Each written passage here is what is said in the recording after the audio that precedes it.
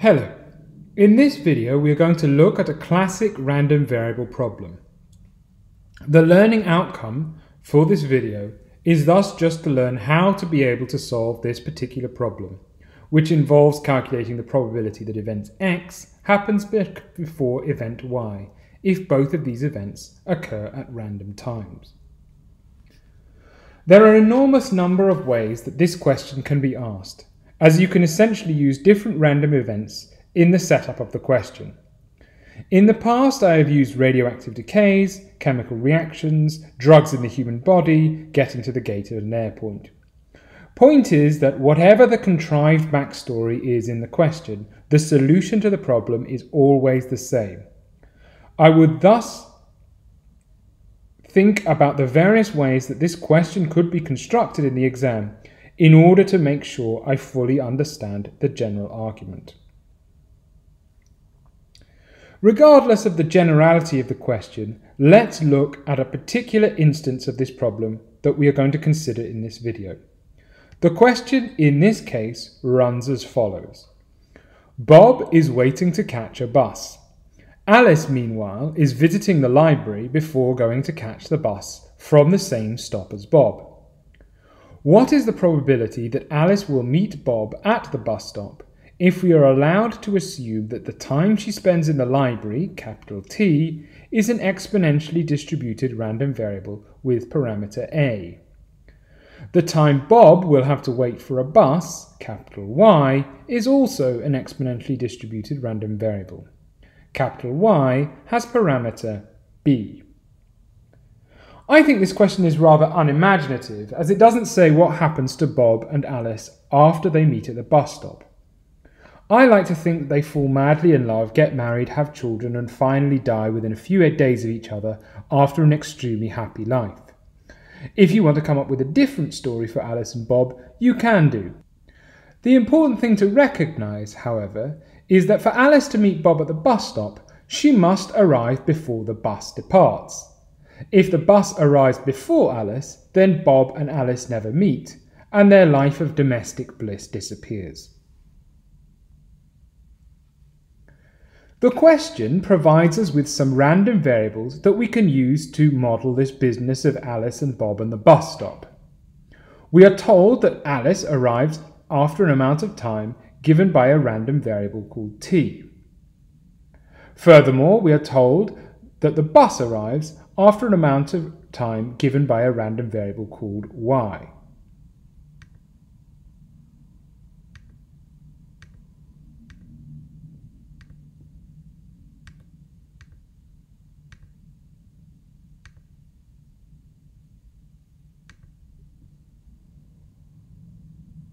As the figures make clear, if t is less than y, then Alice meets Bob at the bus stop. If, by contrast, y is less than t, then they do not meet. After all this palaver, we thus find that the question is just asking us to calculate the probability that the random variable capital T is less than the random variable capital Y. This is what these questions are always asking. It may be dressed in different ways, but underlying the often quite contrived description in the question, lurks this business of calculating the probability that one random variable is less than the other. Before I show you how to calculate this particular probability, let's first briefly review the exponentially distributed random variable.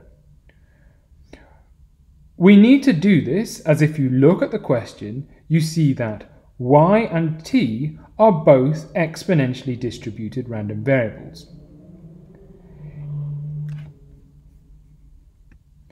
If you remember, in a previous video, we said that the exponentially distributed random variable could be used to model the time that it takes for something to happen. We said that the probability, cumulative probability distribution function for this type of random variable is given by this expression, the probability that the random variable is greater, capital T is greater than T is given by this expression, and that the probability density function for this type of random variable, which is just the derivative of the cumulative probability distribution function, is given by the expression shown here.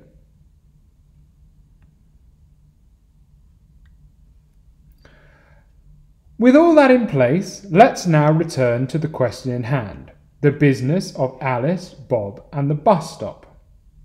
We cannot use the result we have just derived revised immediately, as calculating p is the probability that capital T is less than t is not simply a matter of inserting some particular t value into e is equal to minus lambda t.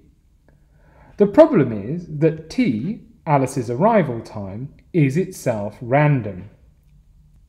We are saved, however, by remembering the partition theorem which we learned about in an earlier video.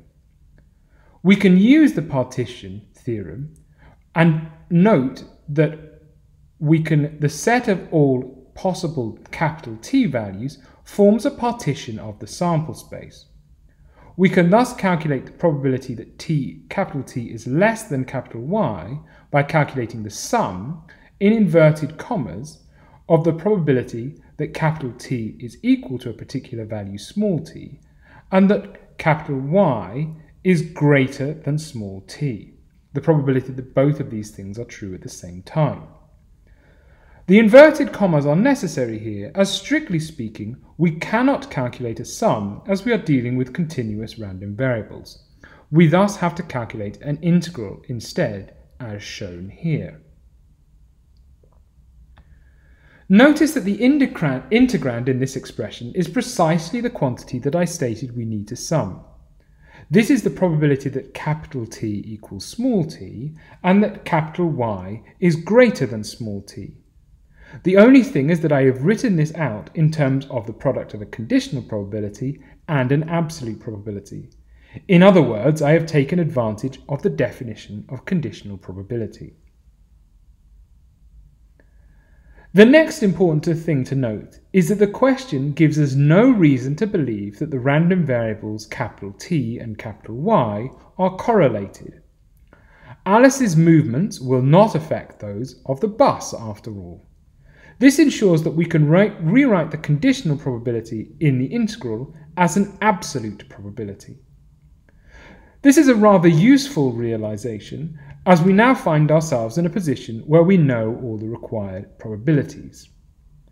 The probability that capital Y is greater than t, for example, is the probability that the event does not occur before time small t, which we have just seen is equal to e to the minus at. If you look at the question, you see that it tells us that the parameter for the exponentially distributed random variable that describes Alice's arrival time is a. Working out the probability that capital T is equal to t is slightly more involved. We need here the probability density function for the random variable capital T which if you remember is equal to the derivative of the cumulative probability distribution function with respect to, in this case, small t. Now remember that the cumulative probability distribution function tells us the probability that capital T is less than or equal to small t. Obviously, we can work out this quantity by taking 1 minus the probability that capital T is greater than small t. The probability that capital T is greater than small t is just e to the minus bt, however, as the question tells us that the bus's arrival time is given by an exponentially distributed random variable with parameter b. We can thus calculate the required probability density by differentiating 1 minus e to the minus beta t with respect to small t. This is a rather straightforward piece of differentiation. The derivative in this case is equal to b times e to the minus bt.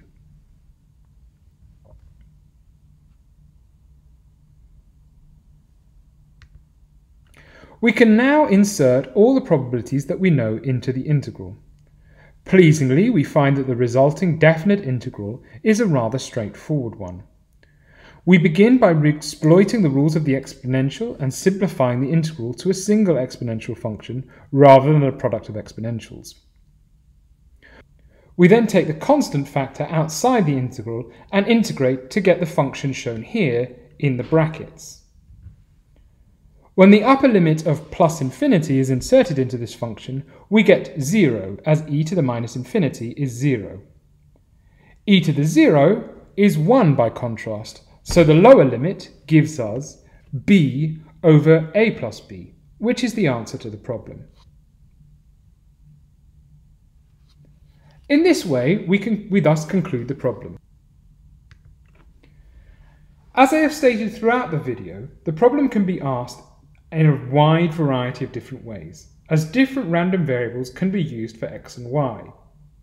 In the question we looked at in the video, the arrival of Alice is the random variable x, and the arrival of the bus is the random variable y.